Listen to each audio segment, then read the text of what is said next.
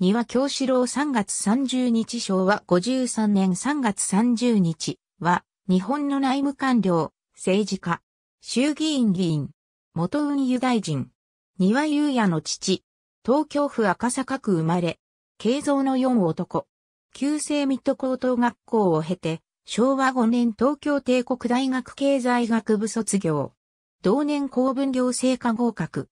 昭和6年内務省に入り、大阪府警部補、長野県、満州国、埼玉県、厚生省、京都府などの勤務を経て、昭和17年千葉県官房長、群馬県警察部長、警視庁官房主事、情報局情報官を歴任。昭和22年退職。昭和22昭和25年公職追放。昭和27年茨城3区から衆院議員となり、以来9回当選。